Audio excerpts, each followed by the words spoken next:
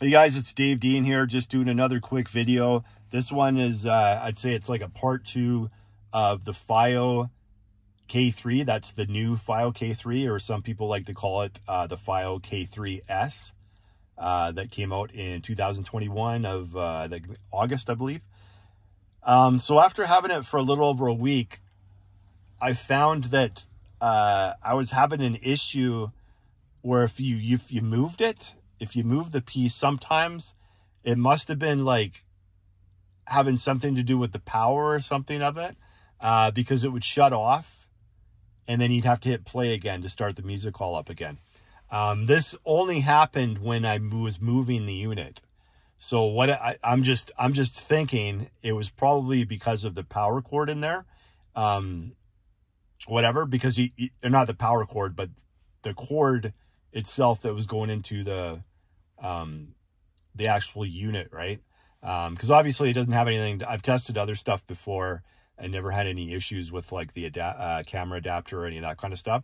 So it must have been, it must have been the unit moving around. Somehow it loses its power. And that's the problem. Uh, I don't know why these companies don't include like a power, something to power it. If you're going to have like a, something mobile, it should actually have a battery in it and you should be able to power it. Like, uh, uh, I don't mind spending an extra 30 bucks or whatever it's going to be to have that. I just have no idea why they don't do that.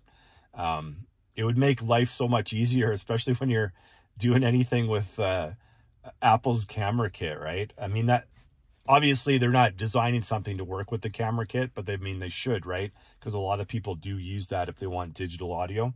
Um, so yeah, I figured I'd do another video, kind of a follow-up video. Because some people, when they do reviews on something, they do the review and then you never hear from it again. Well, what, you know, and I've seen issues like even with uh, products like the Chord, the Chord Mojo or Chord Mojo, however you want to pronounce it, the Mojo, right? The original Mojo. Uh, there was lots of issues with that thing, but nobody ever really, not too many people really talked about it afterwards, right? Um, so I'm not going to be one of those guys that I do a review on something and then I've had it for like after I've did the review and uh, there's some issues with it. So there was definitely some issues with that thing. Um, and that was it, right? So if you're going to buy that unit, because it sounded good, it sounded really good um, for the application that I was using it for, right? I wasn't using it for headphones. I was using it specifically to have uh, Apple lossless music uh, going through that unit and then going out through the coaxial out into my DSP. So that's originally why I bought it. Um, and I would have kept it if it wasn't for that. So I actually just returned it today. Uh, but what it's going to be taken over for its place is the FiiO M11 Plus LTD, not ESS. The LTD is the version I ordered. I know it's a little bit older. It's about six, six, seven months older uh, than the ESS version that just came out like a month ago or something, a month or two months ago. Um, but I decided to go with the LTD just after all the research I did. Uh, a couple people had some comments. Uh, the one person had both, and he was testing it on his home theater as well on here. So I, I, I valued his opinion, and then some other uh, things that I kind of tracked down online. Very difficult to find people that actually review both of them. Um, it was actually really hard. I've only I only ran into a few people, but they didn't go head to head with them. It was like they reviewed one one time, and then they mentioned a couple things about uh, the old one when they when they did the new one, right? Um, and uh, and a lot of the reviews that I found seem to think the FiiO. I mean, they're both great DAPs. Don't get me wrong, right? So I'm not I'm not saying one's bad or anything like that. They're both great, right? Both have excellent specs. Um, but the LTD, it kept on coming back to it being a little bit more musical, right? Uh, a little bit better with the high end details, uh, a little bit more weight to it, right? Um, the specs are a little bit better on the the new ESS, and the, and that one's a little bit more powerful. Um, but like I said, I'm not using it for headphones. I'm using it for my vehicle, right? And I was perfectly uh, perfectly fine with the FiiO M11 before that I had. It's just that I'm switched to Apple Music. It's cheaper. It's like $9.99 here in Canada. Uh, Tidal's $19.99. I don't know how they can even justify 1999 anymore. Um, but that's a whole nother video, right? Of what these guys are charging you uh, to use their products, right? So uh, for me, I'm I'm an Apple guy now that they got lossless. I was even an Apple guy before when they had iTunes, right? Uh, I still thought it sounded decent iTunes before, uh, but lossless just is to me. Uh, yeah, you can you can talk all day, all day and all night about doing comparisons, or you can hear the difference if if you're blindfolded. Uh, on some some stuff, I'd say yes. On other stuff, maybe not. Right? But uh, it's it's in your mind knowing that you have the best quality possible is is kind of a thing, right? Um, I think that's why a lot of people even buy real expensive things, right? Because then they know they got the best there is, right? Um, and it's it's in your mind a lot of that stuff, right? Uh, but yeah, I pulled the trigger today, and I should have mine on Sunday, I believe. I'm getting it this Sunday. Um, I like I said, I could have ordered both. Uh, they had the M11 LTD. Uh, it was like 50 bucks off on Amazon right now. They had two left. So I pulled the trigger on that one. I could have ordered the one through the States, the ESS one. I was back and forth. I've been researching it for the last, you know, well, I was did some research a long time ago, but I also did some more research in the last couple weeks. And um, I figured by phone, I still I still uh, want to find something that works with the phone too as well. Because I said that what I'm recording on now is my uh, uh, brand new iPhone 13 Pro Max, and I got a five. I used to have the, the the stuff that I was recording on before was my file or not my file, sorry, my uh, iPhone uh, 12 Pro Max. Um, but that was only 128 gig one, that one. And this one, because I like to put a lot of music on here, this time I got a 512. I was going to get the one terabyte, but you couldn't find them, and I didn't want to wait like six weeks for it. Uh, so I pulled the trigger on that, and I bought uh, outright uh, um, the iPhone 13 Pro Max, uh, 512 gig. Uh, so I got plenty of storage on here.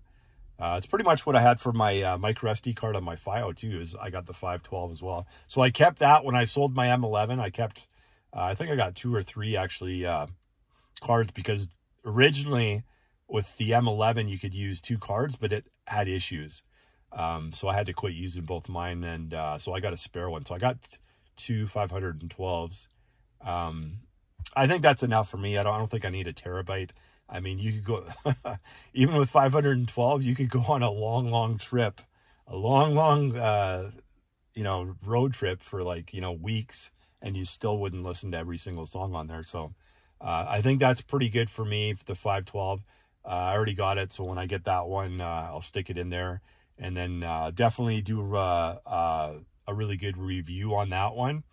Uh, I'll probably do the unboxing video first, even though a lot of people have seen it, but uh, I'll probably put one an unboxing video and then I'll do the actual review because I want to spend a good you know few days uh, listening to it to see what it sounds like on its uh, uh, analog outputs and see what it's like on its digital outputs, right? For the uh, coaxial digital out to see if there's any difference between that one and the M11. There might be because they apparently the jitter uh, is supposed to be even better on that one, right? Um, I know I was going back and forth between the M17. Um, I just can't, I can't justify the price um, for what I'm using it for, right? I'm using it for my V. I mean, I can justify it, but at this point in time, uh, I'm I'm just gonna stick with uh, uh, the M11 Plus. I think it does everything I need it to do. Um, you know, and we'll see. We'll finally see if uh, what I said before is true, right? Um, if going analog out might sound better than going through coaxial digital. I don't know. You might have to move up to the M17 possibly for that to happen. Uh, who knows? But I heard lots of great things on Astell and Kern's SP2000, and that was kind of like the benchmark DAP. Um, not sure how the M17 stacks up. The M17 is new, and that thing's like a tank. That thing's like a far bigger um, than the SP2000, right? And then Sony's got their new DAP out too, or it's coming out, one of the two. Uh, that's a $5,000 uh, unit as well. Um, and of course, you know, the F1 status has their, you know, Astell and Kern DAP that was made for the made for their F1 status, right? Um, but that's that's more like a SP1000 from what I uh, was reading. Uh, it's kind of like custom to them, but it's kind of like the build of an uh, the SP1000, I believe. So, yeah, I'm kind of excited. Uh, I figured I'd pop on do a quick video just to make sure that if anybody does buy that K3, that uh, just remember if you're gonna if you're gonna use that thing, just Velcro it somewhere so it doesn't move. Right, figure out a spot for it and just Velcro it somewhere so you're not and don't touch the cords. I don't know. Maybe I maybe I might have a faulty cord or something like that. But I tried it with two two different cords, and both cords did the exact same results. And and the weird thing was, it wasn't always when I moved it. Sometimes, it, but that was what was causing it, right? Um, but it's just weird that sometimes it was fine like it, and then other times it wasn't. So I'm thinking it's something to do with like it, the power part of it, right? Um, that's my guess, anyways. So it's uh, just be aware of that if you're gonna pick uh, pick up one of those things. Try it out in your in your vehicle and see what you think. See if you have the same issue as I did. Um, because like I said, I was going to keep that thing. I wasn't, I didn't plan on returning it, right? It was a great price. Um, I like the sound it produced out of the coaxial output um, compared to the other two products that I tested.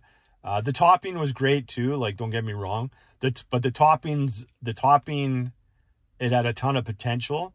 You would just have to uh, definitely use your DSP uh, and maneuver some things around with that, right? Because it's a totally different sound signature than everything else. And the K3 or the K3S, uh, the new version, um, that was more to my liking. It, it sounded more like uh, my DAP did.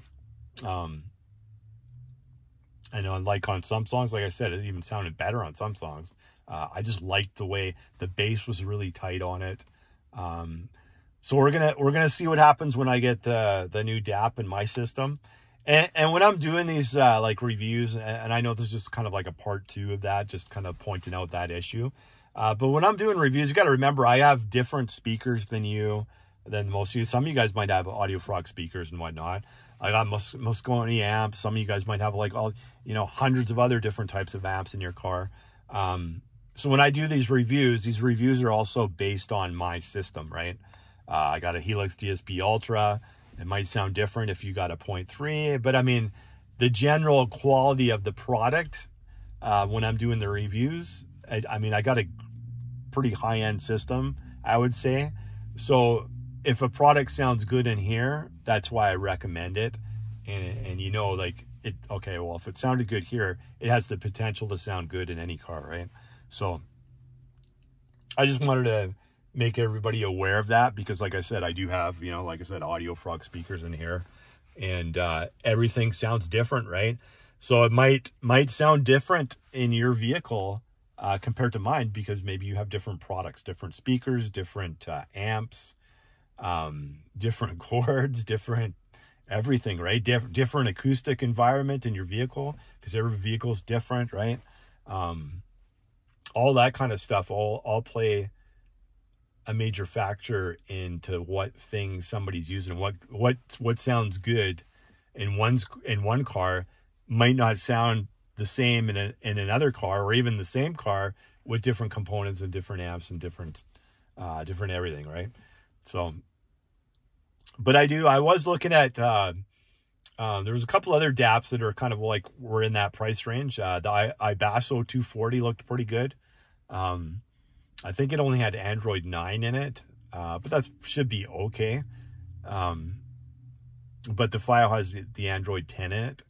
And uh, the other gentleman that did that review, or he didn't do a review, but we were talking back and forth in the comments uh, on the FiiO M11 uh, Plus LTD and the ESS. He has both of them. And he was saying the screen's a little bit nicer, I guess, on the ESS version. Um, but I'm I'm more of the sound guy. You know what I mean? I already know the DAP's going to look decent because the M11 looked decent, right? And I know it's going to be faster and all that type of thing. But I'm my main concern is like, what is it going to sound like, right? Is how good is it going to sound like through analog, and how good is it going to sound like through its coaxial digital out, right? So um, we'll find out pretty quick here. It's like Tuesday now, so what do we got? Wednesday, Thursday, Friday, Saturday, Sunday. So five days. um, to go until that shows up. And like I said, I'm pretty excited about that. Um, let's hope, hopefully that's the one that shows up. and hopefully I don't have like an issue like I had last time when I ordered an M11 Pro and they sent me an M11, but I kept it anyways because they didn't have any, they didn't have any more M11 Pros at the time. Um, so let's hope they send the right product and then I'll do a, a review on that. So look forward to that next week. Um, that's the most exciting one I'd say because the other, the other piece of equipment that I were doing were kind of like budget, um, budget specialty items, I'd say for what we, what I'm using it for, like the, uh, going out the coaxial digital out of it. Uh, and like I said, I test everything, uh, when I get one of these products. I even tested it through the headphones. Um, everything sounds pretty decent, especially uh, those three specific products that I did, the FiiO BTA 30, um, the Topping D10S, and then the recent one, the FiiO uh, K3S or new K3, however you want to look at it. Uh, all of them sounded decent through headphones. I just told you don't, um, the power of the amp isn't like incredible on the K3 or the K3S. Um, so just be aware of that. But other than that, it was good little a good little piece. But these companies start, I mean, they have to start putting batteries in these things and come with a charger of some sort. Uh, I don't, I don't even think I would even want to, uh, unless it's a dongle. If it's a dongle, that's fine, right?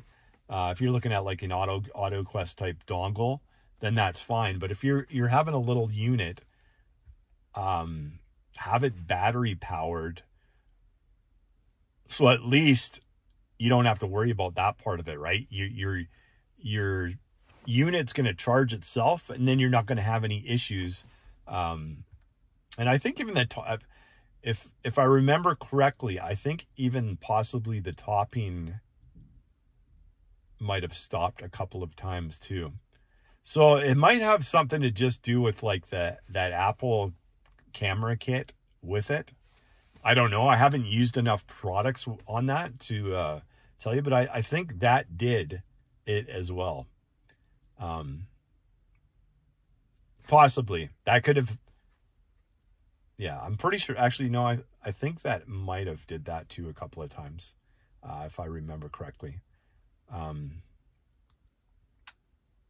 but I, with the BTA 30, I didn't. I never had that issue with that for whatever reason. I have no idea why, but. Uh, never had any problems with that. But yeah, that that would solve that problem because then you always have the proper voltage going into that thing at all times, right? Uh, with the dongles, I don't think you really need that so much, but I have no, I have no idea because I I test the only time I ever tested those was earlier on um, when I was deciding whether I was going to go for an M11 or if I was just going to use uh, uh, my phone at the time and use I was actually I tested out some of the AudioQuest ones. Never did any videos because I wasn't doing any videos at back then. Um, other than the old videos I did with my old system that I just was on there just for something to do right back then. Um, but yeah, so look forward to that one next week. And once again, just a reminder, if you do go with that K3, um, just keep it as still as possible with the cords. and then hopefully you should be good on that one. Or maybe it's just maybe I maybe I got a faulty uh, uh, camera adapter. I don't know. I don't know. If you guys if you guys use that uh, the camera adapter from Apple, let me know if you've ever had any, any of those issues with uh, if you've used it with like a DAC or whatever, um, with things just like stopping right um, out of the blue. And it wasn't consistently, but it happened enough where I was like, okay, this is becoming a problem, right?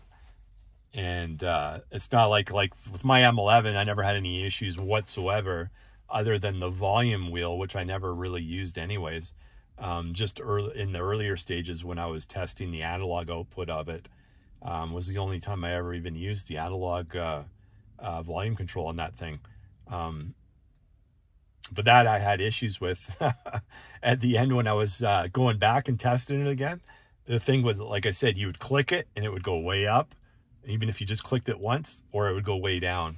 And it, it was, you couldn't even get the proper volume to sit still half the time on that thing, right? So that was the only issue I ever had with that. And um, I mean, on that one, the album artwork would like take a little while to load. I'm hoping they fix that problem with the new one. We'll find out next week uh, because it would be nice since it's on Android 10. I'm assuming they would have fixed that, right? With the uh, the album artwork, like you know, sometimes it would take a while for it to load in on the M11. So that that would be the only thing. Other than that, even the M11 was like quick enough for me. It's not it's not like the an iPhone, right? Like a new iPhone these days, um, but it's quick enough for your music. Um, and the new one should the new one should be uh, even quicker. I'm I'm thinking. So we'll find out next week. So that's it for this one, guys. Uh, stay tuned. Uh, I'll be posting uh, probably the unbox. If I get it Sunday, I'll do the unboxing video on Sunday. Uh, but it'll it'll be a quick unboxing because then I want to get to the actual listening of the music and the important part, like the review of what that sounds like, even compared to my old M11, what it sounds like uh, for the previous products that I've uh, tested. And uh, I'm looking forward to it. So we'll see you on the next one, guys. Have a good one.